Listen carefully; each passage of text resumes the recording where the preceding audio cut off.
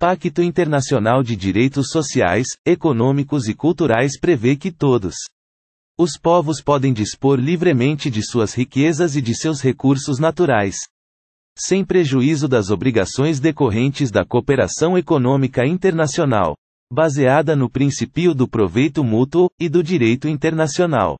Em caso algum, poderá um povo ser privado de seus próprios meios de subsistência. Analisando a questão, você responde: verdadeiro ou falso? O gabarito é verdadeiro. Artigo 1. 2. Para a consecução de seus objetivos, todos os povos podem dispor livremente de suas riquezas e de seus recursos naturais, sem prejuízo das obrigações decorrentes da cooperação econômica internacional, baseada no princípio do proveito mútuo e do direito internacional. Em caso algum, poderá um povo ser privado de seus próprios meios de subsistência,